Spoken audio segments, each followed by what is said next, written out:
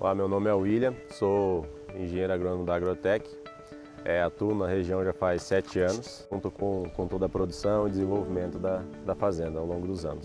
Meu nome é Diogo, trabalho aqui na Agroganadeira Santa Maria del Padiaguaim, distrito de Itaquiri, Alto Paraná. Trabalho na estância há um ano. Como é que você percebeu, Diogo, essa, essa ferramenta aqui dentro da fazenda? No que, que ela te auxiliou? Assim? Então a gente usa o DigiFarms desde a última safra, uma safra que a gente teve uma grande seca, vai entrar para a história. E o DigiFarms é uma, uma plataforma digital que nos auxiliou muito aí no manejo de, dos fungicidas, é, principalmente com a tomada de decisão. Você conseguiu notar alguma coisa em relação, principalmente essa questão de dosagem, eficiência de cada produto para cada variedade?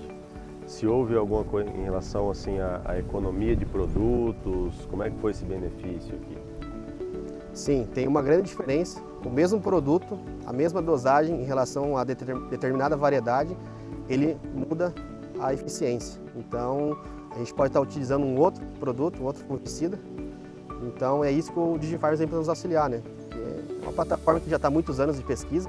Não é o mesmo produto para... Não é o mesmo produto. Essa é a nossa, nossa filosofia. Para qualquer cultura, para qualquer variedade. Né? Exatamente.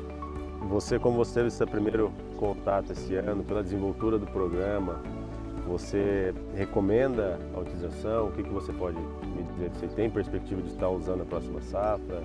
Sim, a gente tem a perspectiva. A gente vai continuar utilizando essa ferramenta. Como eu disse, é uma ferramenta extremamente importante para nós. A gente quer cada vez atingir maior eficiência.